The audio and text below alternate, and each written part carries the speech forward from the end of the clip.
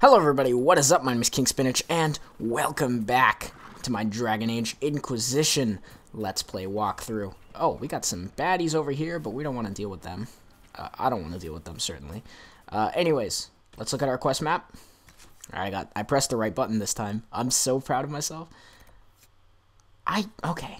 I guess we're gonna, we're gonna have to find this, um, we're gonna have to find that apostate cache. I eventually, I mean, we don't have to do it right now. Why don't we why don't we go up here and find all of these things? Let's go up there and let's fast travel to the Dwarfson's Pass camp. And we'll go up there and do all of that stuff because we're doing some we're doing more side quests. Um, simply because I want to level up to at least um, I think level eight. That could be useful. That's a, probably a good one. What are we right now? Level five. So I want to get up to level 8 before we start doing more main mission stuff. Um, just because I think level 8 was uh, a recommended level for like specific things. Um, hold up a second. If I head this way... Am I? Yeah. I think I'm like trapping myself by going this way. So I, th I think I should go the other way. I think I should go around this rock the other way. Um, to get to all the stuff. Uh, around this whole mountain mountainous region. Around all these mountains. We got the worried scout. We've already talked to him. There's some. There's a baddie over here. Let's get some action going. Boom, boom. Is it just me, or am I missing some audio or something? What's up? I feel like I'm not. I feel like music isn't playing or something. Something that's supposed to be playing is not playing. We're not going tactical camera here, just because kind of want to get some action stuff in.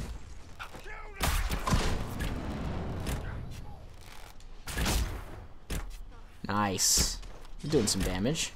Let's poison our weapons. Let's strafe around him so he can't really uh, attack us too much.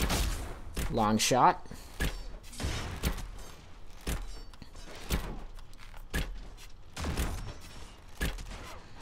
And now the other guy is basically down, so we'll just focus on this defender. Everything seems quiet to me, so I turned up my headset volume. I don't know about you guys, it seems like stuff's oddly quiet, like I'm missing sound effects or something.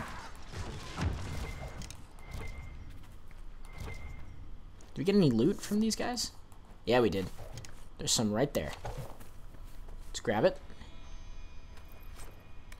Qunari Battle Axe. Okay, anyways. We gotta head this way, I think. Yeah. Yeah, here we go. I think this is gonna lead right to all those, uh, all those, um, I guess, diamonds on the map. This path right here. And there's a chest over there, too. Ooh, and, uh, some other... Are these Inquisition? They are. They look like Inquisition scouts. Oh, no, I don't want you to do a leaping shot. Whatever. Did it anyway. Finn doesn't care. Finn does what he wants. Alright. We've been searching the region for resources. And you're floating. Okay. No small task given recent troubles, but I've some supplies here you may find Ooh. useful. Soldier's Nemesis. Let's see let's see what that bow looks like. Uh Oh. Oh, this is a new one. And it's better. By one damage, has the same has the same other thing, so I guess since it's better, we might as well equip it. Um, and let's see. Can Cassandra use that? Or does she have a better shield? She has a better shield. Uh, I think I went through all this stuff. Um, we're not going to worry about that. I think Solas is good for now. She doesn't use two-handed weapons. She's using a hatchet, and okay, I think we're good on the uh, inventory front. So let's continue on our little trek over hither. Ooh, yeah, look at this. It's a cave. Got some drake stone right out front. That's sub as well, right? Yep. And it looks like there's a mission in there, which is cool. You know, not every dwarf likes caves. That's funny. Alright. Varric. All the party banter in this game is really good. Uh, is this a cache? Yeah, this is a cache. That's awesome. So there's one of the apostate caches. There's one of the apostate caches. Here, I think, is going to be our... Oh, whoops, I thought I was going to read the thing. Uh, I guess I'll gather all the supplies, and then read the thing, and then loot the chest. Um, I like how the music's back. That's good. I like the music in this game. It's really good. Uh, very RPG-esque. Alright. Which is never bad. A letter found on a dead dwarf. I need you to check a cave up in the hills off the path between Redcliffe and Haven. If you can get it past the Mages and Templars, it's worth it. Oh, if you can get past the Mages and Templars, it's worth it. Purest vein I've seen so close to the surface. A vein? They might be talking about red lyrium. That's not good. We don't like red lyrium. Pointed maul, schematic. That's cool. I'll do leaping shots just because I can. Don't worry, little nug. We're not gonna... It's a nug, right? Yeah, it's called a nug. Okay. Don't worry, little nug. We're not gonna take you out. We're good people. We don't shoot animals. All I mean, all the time. Some of the time we do, but I'm not feeling animal shooty today. Let's long shot you. And start off. Actually, you know what I should do? I should be doing actual tactics. Um, such as long shotting, pausing, going over to this stuff, and uh, picking up Varric for... Oh, these guys are level 8. Alright, let's give it a shot. Uh, we already have a barrier. And Warcry. Because Varric's full draw should do a lot of damage. Varric, are you full drawing him? Did you even full draw him? Varric? Did you? Yeah, it looks like he did. Alright, anyways. Oh, you have no stamina left. Oh, Finn, what are you doing over there?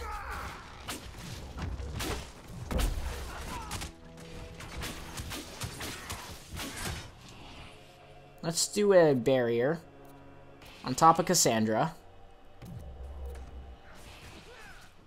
And then uh, let's do a Winter's Blast. Winter's Grasp, sorry, on the Outlaw. Which kind of didn't work. He's immune to physical effects. Don't know what that means necessarily. Alright, Varric. Varric's kind of using his abilities by himself. Finn, I kind of feel like should back off. So why don't you get over here?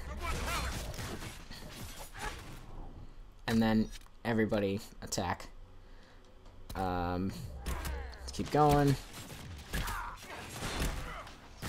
Why don't you use long shot? Solas. Oh, he's gonna go down. Yeah, he went down. Okay. That's good, but we should have Cassandra use a healing potion. Uh, because that didn't necessarily go really well for her. Um, she got hurt a lot, but that's okay. That comes with part of being the tank. Although I wish she had gotten more guard, and I like how that super tough guy barely dropped anything. Um, reinforced scout armor, that looks good for rogues. I believe medium armor is for rogues. Um, man, there's a lot of Drakestone over here. What did I miss that way? That was just some ore. That's okay. I'm fine with missing a little bit of ore here and there. Oh, we skipped a little bit but uh, it's okay. What's over here?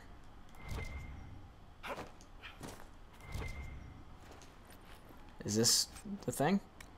Oh, a letter.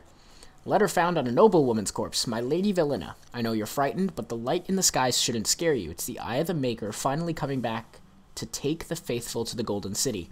Leave your father's servants and come up into the hills, away from the pointless fighting between the mages and or between the Templars and Mages. Let me introduce you to Speaker Anais. She'll explain everything, and we'll be together and happy, waiting for everything to be right in the world. Oh, we met. We met Speaker Anais. Your love, Lord Barand. We met Speaker Anais. That's so cool. We helped her out, too. So we're back in Dwarfsons. Oh, I guess we could have gone the other way around the mountain. But... Maybe not?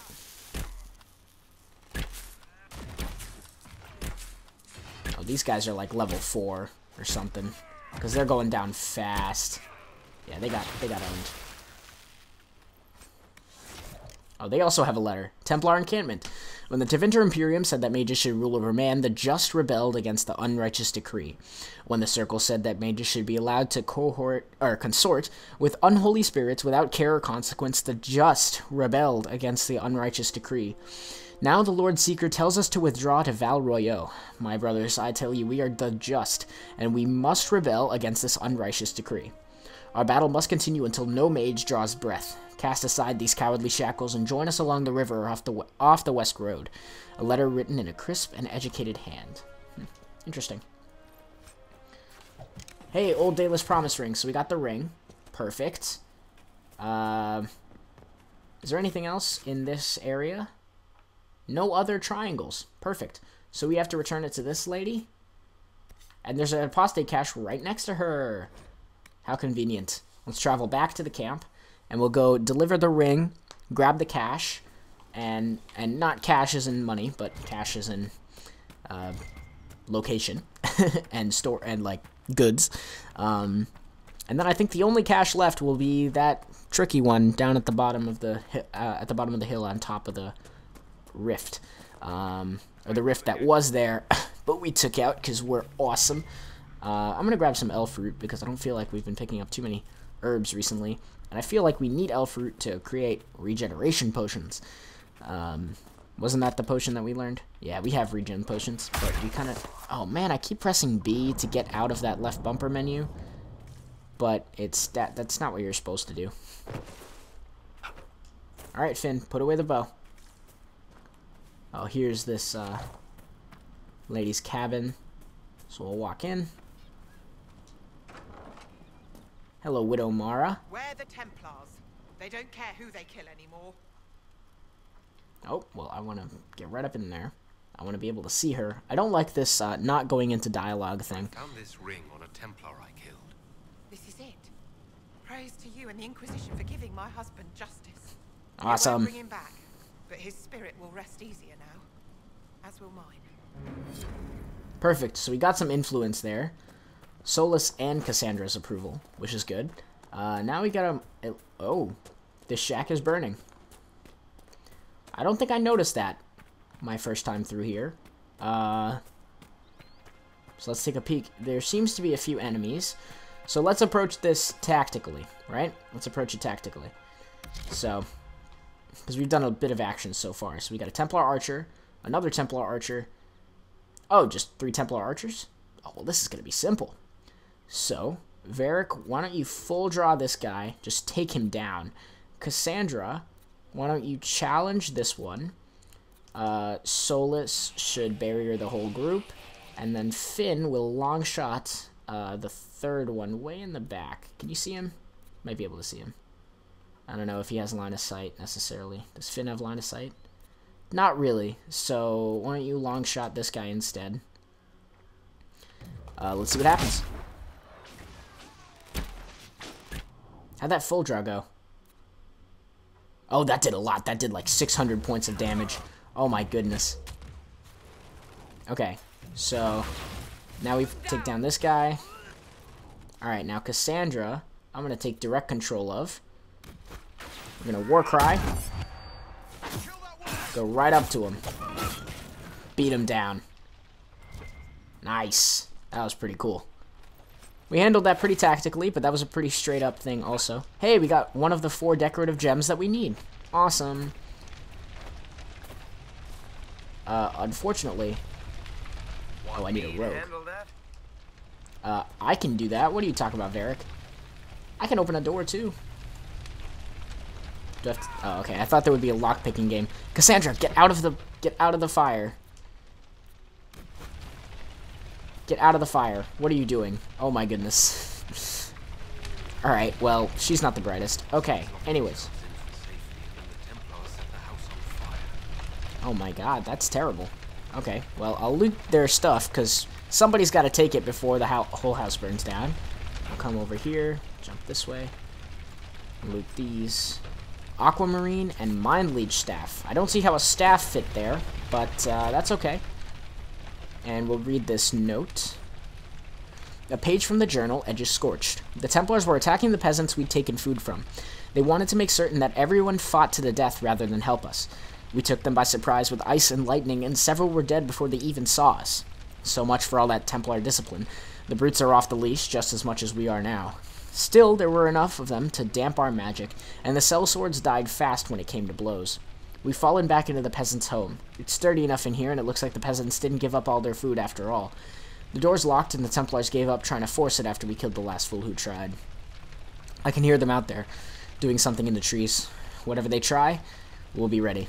We're never going back to any Circle. Even real Templars couldn't stop us, and these glorified bandits are no better than we are. From a page, scorched around the edges, apparently torn from a journal. Oh, wow. Well, that's kind of interesting.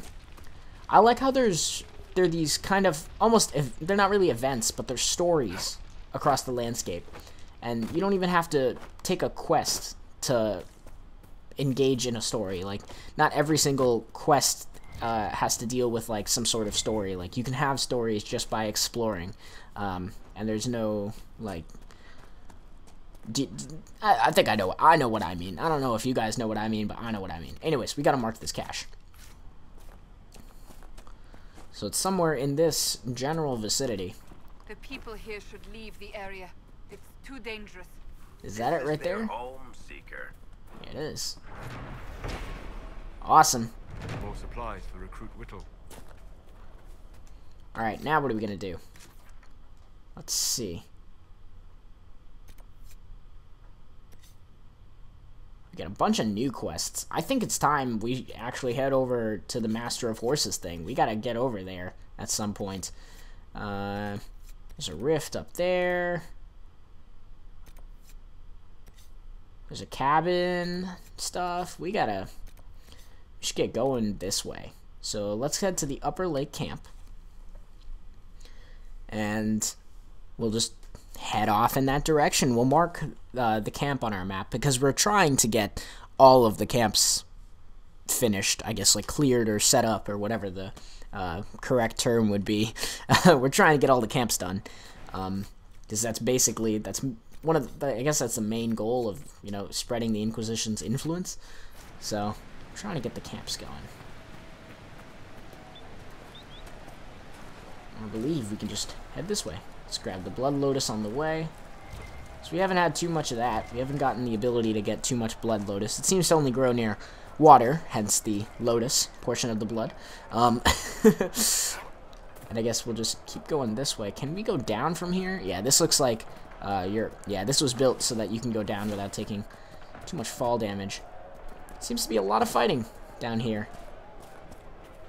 Oh, this is where we saw the first burning stuff. Yeah, yeah. Okay, we've been here before. We were just over, way over there, in the direction that my camera's pointing. Where that ice shard is. That's where we've popped out. So we have been here before. Um, this place is pretty neat, though. There's something in here that we have to do. Oh. Well, let's see. How many baddies are we talking about here? We got level 5 archer, level 5 archer, so long shots.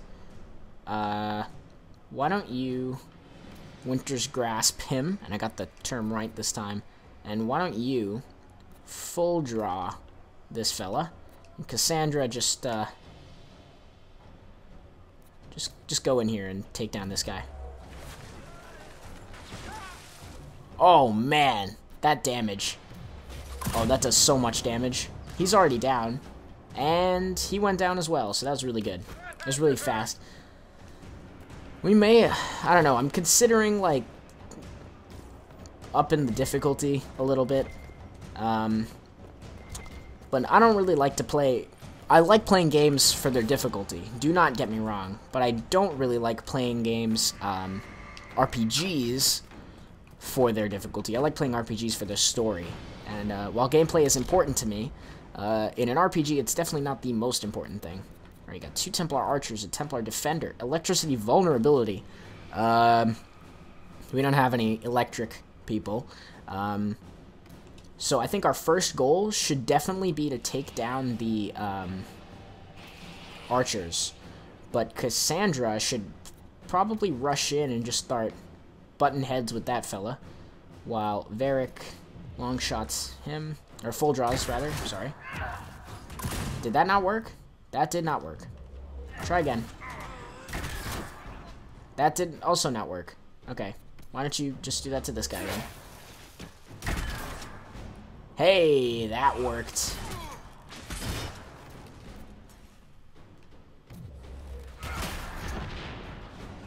Uh, that explosive shot did not work. Sometimes, I don't know why, Oh, it's because they're out of line of sight, or there's something in the way. So you long shot him. Uh, can you do anything yet, Finn? Can't yet. Now you can.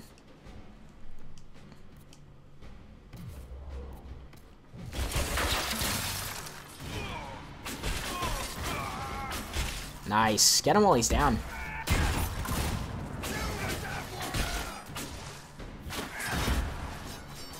I think we can just... We don't even have to micromanage here. We can just watch. Although I will have... Oh, no, he's down. Okay. Awesome. That's pretty good. We got some stuff to read in here. Templar encampment. Brothers, we must listen to the call of the Maker himself, who has given us the duty to destroy these mages. By the rebellion, they have fortified their right to live. They are not people, and any order that asks us to end this just and righteous battle is a lie, a test sent by him to separate the faithful from the foolish. Join us off the West Road and fight for a worthy cause. A letter written in a crisp and educated hand. Oh, this is the same quest, so that also probably triggers um, that same Templar encampment quest that we literally just picked up. Uh, we got a bunch of loot down here from all the people that we took out. There's also another thing to read, I guess. Oh, our inventory is full. Uh, okay. Well, let's see. Is there anything that we could just, like, absolutely just get rid of? Uh, why don't we head over to two-handed weapons and, uh, to drop this, and drop that, and why don't we drop this as well? And let's head over to our daggers. I think you need two daggers, so let's drop the like least effective two. Um, and I think we should have enough to fit this. Oh, I pressed the wrong button again. Okay. Whew. Wooden Mabari figurine. Alright, so that mosaic piece uh, obviously does not uh, count in our inventory, which is good. Decorative gems, I don't think they count either. Lamb's wool and more decorated gems. Hey, place the landmark. Fort Connor. Fort Connor was constructed by a young Arl Eamon after the Orlesians were driven from Ferelden. It was named in honor of Eamon's father, who died at the Battle of West Hill, and after whom the Arl named his son. Eamon was determined for Redcliffe to stand a shining example of Ferelden's strength. He constructed Fort Connor to watch the King's Highway and protect the hinterlands against all enemies. It proved its fortitude against Darkspawn during the Fifth Blight, suffering damage only when the Darkspawn deployed emissar emissaries. Oh man, my reading. Eamon said proudly at the time that Fort Connor was unbreakable by anything short of magic, and for that, thank the Maker we have Templars.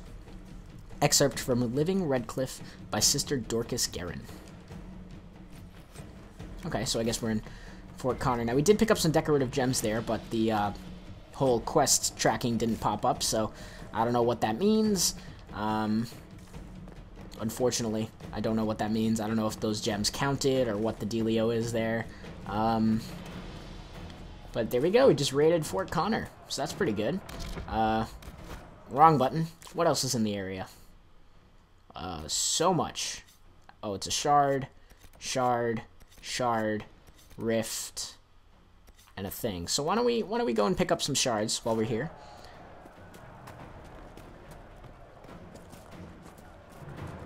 I think um, as far as shards go, I had asked this question um, earlier in the series. Do you guys like wanted if you guys wanted me to pick up shards or what? Um, I think what I'm gonna do is just just pick them up on camera might as well, because some of them are a little bit difficult to get to. Ow, ow, ow, ow, ow. And you have to burn yourself to get to them. Is that a mosaic piece? Because it sure looks like it. And I picked it up. Oh, I thought that was a bad guy. I was like, oh, let's get him, let's get him. Nope, turns out it's just Varric. Varric being Varric. Oh, and I guess this is how you're supposed to get into the shack. But, you know, that's how, like, not cool people get into the shack. I burned myself to get into the shack. Let's read. Dwarven Runecraft. Within the diamond quarter of Orzammar lies the Shaperate. Shaperit? Shaperit. A branch of dwarven society so ancient that the dwarves themselves do not know when or where it began. They are the keepers of history for a people who have never known the sun or seasons, and who track time by the lives and deaths of kings.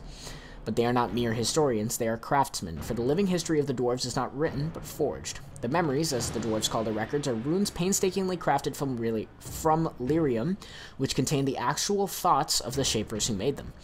Making of runes is not strictly or is not restricted solely to the shapers. The most commonly useful kind are crafted by many members of the smith caste from lyrium and other magically reactive metals and can imbue a variety of fascinating new properties to an item when when properly applied, just as the runes of Tevinter design do. But runes are found everywhere in dwarven artwork and not at all serve and not all serve a practi- practical purpose. My reading skills are so bad, at least not one that's known. They are carved onto houses and storefronts, they are embroidered on garments, etched in glassware, even painted on chamber pots. The meanings of the symbols themselves are sacred knowledge kept by the Shaperate.